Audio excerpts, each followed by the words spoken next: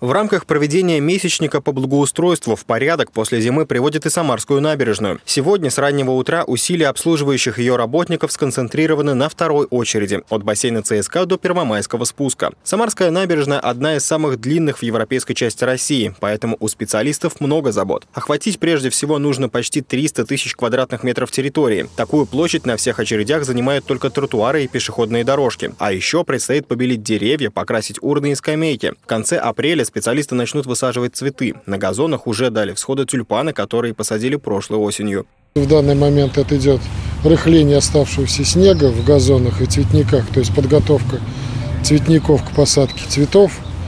То есть идет прочесывание газонов, но это по мере, так скажем, просыхания самих газонов. А, осуществляется мойка дорожек пешеходных, подметание механизированное.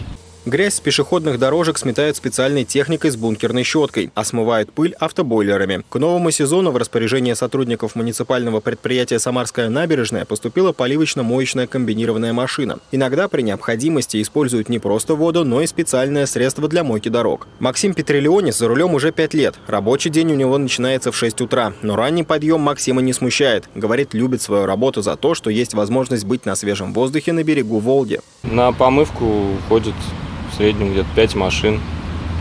Вот. Моем рано утром, чтобы не мешать людям гулять. С зимы остается очень много как бы песка, когда лед посыпает. Приходится все смывать, вымывать. Днем у нас не помывка уже, а идет полив цветов. Так, разные работы по благоустройству.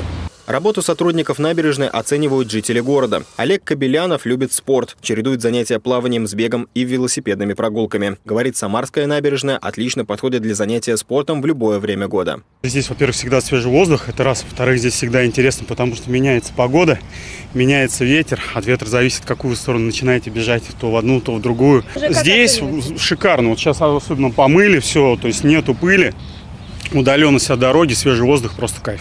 Кроме мойки дорожек, следят за чистотой и тротуаров вдоль Волжского проспекта. Они тоже входят в обслуживание Самарской набережной. Спектр сезонных работ широк. Ограждение катка, который работал зимой, демонтировали и в ближайшее время вывезут на склад. Специалисты планируют также приводить в порядок скульптурные композиции и заняться мелким ремонтом элементов благоустройства.